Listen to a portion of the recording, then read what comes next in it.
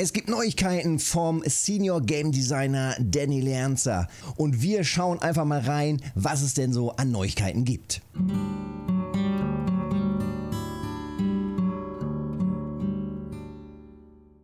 Also in wenigen Tagen geht es ja schon los mit The Angler Call of the Wild und ja, natürlich bin ich auch mit dabei. Sobald es irgendwie möglich ist, geht es rein in die Open World. Ich bin schon wahnsinnig gespannt natürlich, was wir da rausziehen können. Und aus dem letzten, aus den letzten News gab es dann halt so ein bisschen mehr Information. Wir haben zum einen eine Übersicht zu den Gewässerstrukturen und wie die Fangspots aufgebaut sind. Und wenn wir uns anschauen, was aus den vorletzten News quasi schon geleakt wurde oder gezeigt wurde, sehen wir eben die Strukturen und der Aufbau, wie und an welchen Stellen quasi diese Fische spawnen können. Das heißt, diese Bereiche sind alle markiert und sind auch namentlich äh, markiert. Das heißt, wir sehen hier einmal den, ähm, den Gelbbarsch, dann haben wir hier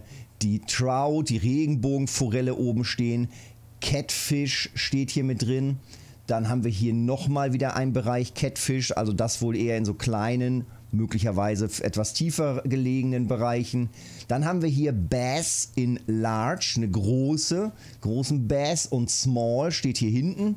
Also da haben wir schon mal so ein bisschen was ähm, zu sehen und äh, da ist ein bisschen zu erahnen natürlich, wie das im Gewässer auch verteilt ist. Das heißt, wir haben so Area oder Spots, die eben sich in etwas größeren Bereichen verteilen.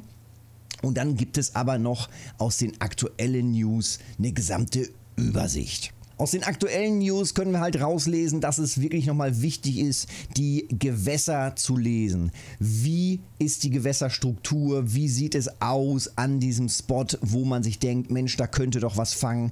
Gibt es Bewegung an der Oberfläche? Fliegen Insekten eher rum? Also das sind alles Einflüsse, die einen erfahrenen Angler dann darauf hinweisen können, Mensch, da wird man doch wahrscheinlich was fangen. Auch soll man tatsächlich Fische direkt im Wasser sehen. Auch das ist quasi ja so eine Art Angeln auf Sicht. Das heißt, wir sehen da irgendwo etwas rumschwimmen und versuchen es dann auch an dieser Stelle direkt zu fangen. Und dann ist es für uns natürlich wichtig, dass wir zum einen mit dem richtigen Setup da sind, die richtigen Köder verwenden und auch wahrscheinlich die richtige Fangtechnik nutzen, denn auch der Drill wird dann am Ende ja eine spezielle Technik erfordern. Die Fischarten haben ihren eigenen Stil abzuhauen. Das heißt, da müssen wir den Drill an die Fischart auch noch anpassen. Schauen wir mal weiter, was heute rauskam und das ist dieses hier. Wir haben einmal so eine schöne Übersicht zu dem zuletzt gefangenen Fisch. Das heißt, wir haben auch hier dieses, dieses Handbuch eben, wo nochmal weitere Informationen zu den Fischen drinne stehen. Das heißt, wenn man mal einfach so ein bisschen rumprobiert, man ist vielleicht nicht der ganz erfahrene Angler, probiert einfach mal in dem Game ein bisschen rum und aus Versehen fängt man dann auch noch mal hier vielleicht so einen coolen Pike, so einen Hecht, dann hat man eben da auch noch mal Informationen zu stehen.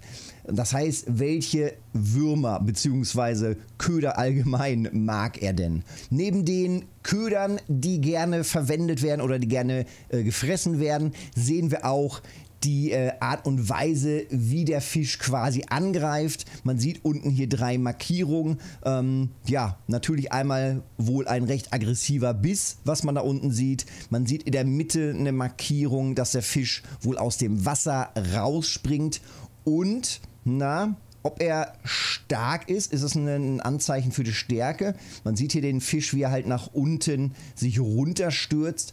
Auch das kann natürlich so ein bisschen so einen Hinweis geben auf die, die Stärke vielleicht des Fisches. Dann sehen wir hier auch noch die verschiedenen Regionen, wo der Fisch denn dann auftauchen kann.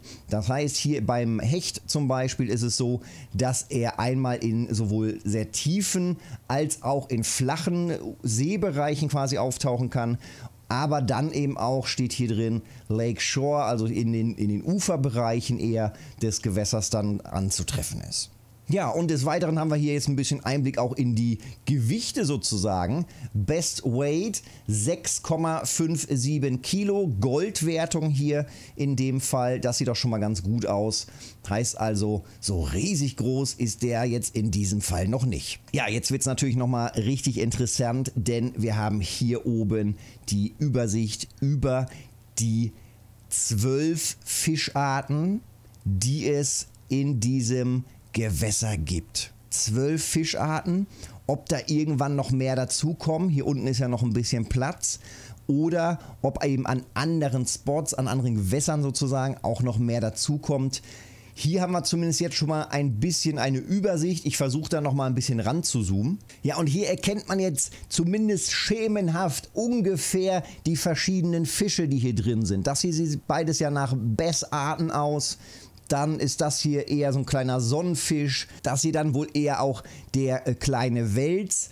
Dann haben wir hier den Barsch, den Hecht mit drin und hier unten verschiedene Forellen bzw. Lachsarten. Hier hätten wir vielleicht nochmal einen Zander. Ähm, ihr könnt ja mal unten drunter schreiben, was ihr glaubt, welche Fische das sind. Ich zoome dann noch auch mal ein wenig rein, dass man das vielleicht ein bisschen besser erkennen kann. Vielleicht einfach mal auf Pause drücken und dann nochmal ein bisschen identifizieren. Ansonsten verlinke ich die Seite ja auch nochmal unten drunter unter dem Video. Ja, das sind die verschiedenen Fischarten im Golden Ridge Reserve. Ich bin wahnsinnig gespannt, wie es sich anfühlen wird, hier an diesen Bereichen rumzurennen, zu suchen und die Fische rauszukurbeln.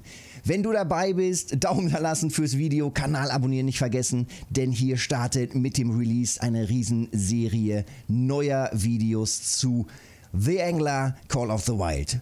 Bis dahin.